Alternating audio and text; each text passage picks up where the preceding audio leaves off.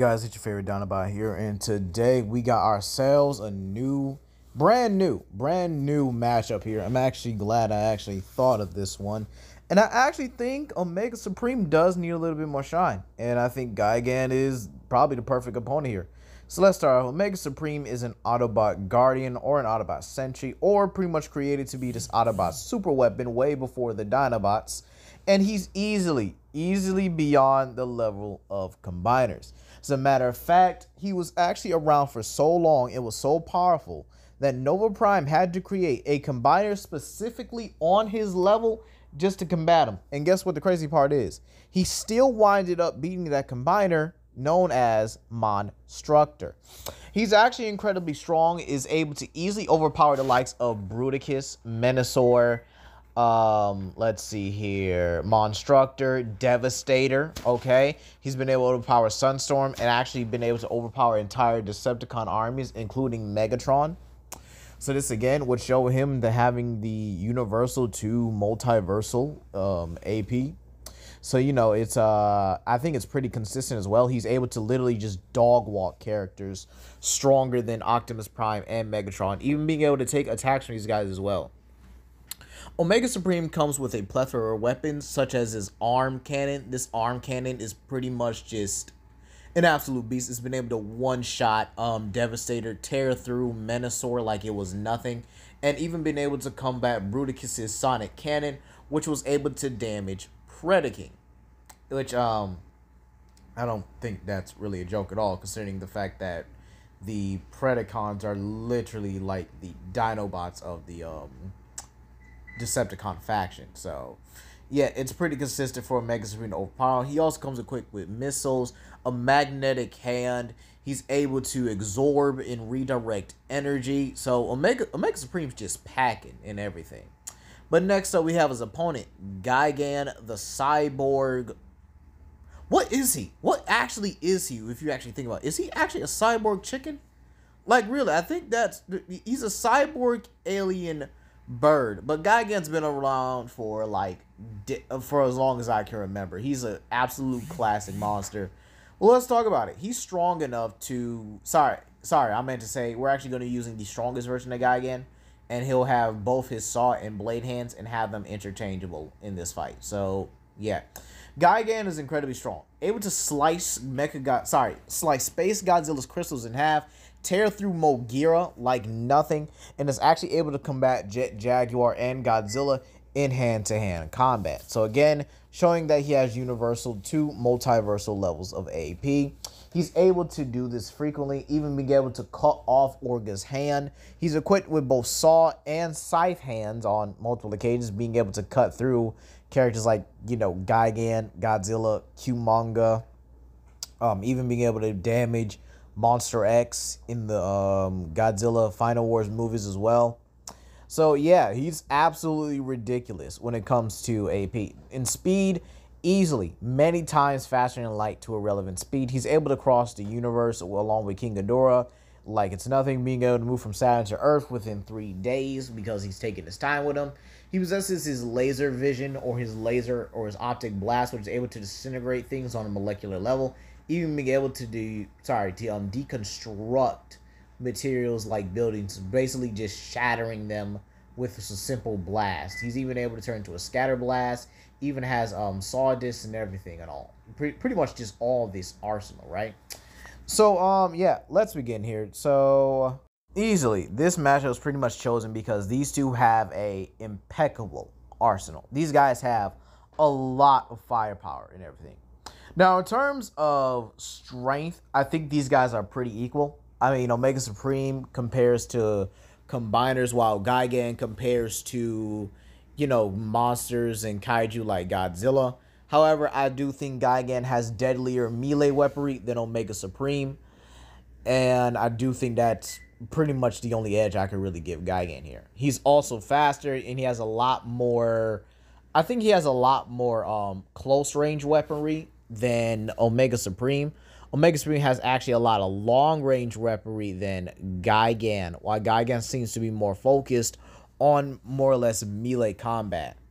So, um, this is actually a pretty interesting fight in my opinion because I do think if Gigan keeps it at close quarters combat, he's able to um I think he'll eventually win. Yeah. I do think these two are equal in just about everything. I do think Gigan is faster while is more durable in my opinion. Simply put, he can take attacks from Sunstorm, who is a living embodiment of the sun, hmm. while Gigan can, you know, subparly take Godzilla's atomic breath without being wrecked a couple times. But all in all, I do think Omega Supreme does have the better long range arsenal and has no problem straight up pulverizing Gigan with it. And I do think that even if it's, you know, gets to be a physical confrontation, Omega Supreme has what it takes and has what he needs in order to actually win the fight. Okay?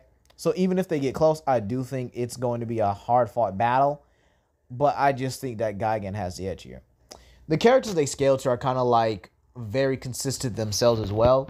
You have Mogera, who's able to go toe to toe with monsters like Trilopods, even Trilopod enhanced creatures, being able to fight off Space Godzilla.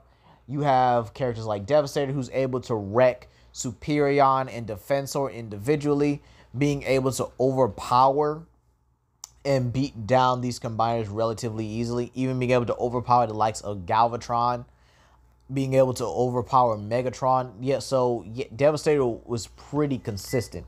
As are other combiners like Bruticus, and even the Autobot combiners themselves, like Superion and Defensor. Defensor is actually known to go toe to toe with Bruticus on a regular. So if you really think about it, the um, Protectobots are actually rivals to the Combaticons more than I think any other. Yeah, any other um yeah, any other combiner rivalry we had, we already know that Devastator didn't really have a rival except for the Dinobots, and if they combine, it'd be um, it, it, would be devastating. no pun intended, but you guys get my point, right? Gigan, you know, scales to these like Mecha Godzilla and Godzilla himself, even being able to harm these Godzilla-like monsters or Godzilla-level monsters on multiple occasions, and taking attacks for them but I do think that this really comes down to their arsenal. Gigan has a good amount of means of a long range weaponry, you know, stuff that could wear down Omega Supreme, but he doesn't have a lot of them. Meanwhile, Mega Supreme has a lot. And that arm cannon is no joke. Like that that just that one arm cannon alone could basically decimate Gigan if he's not careful.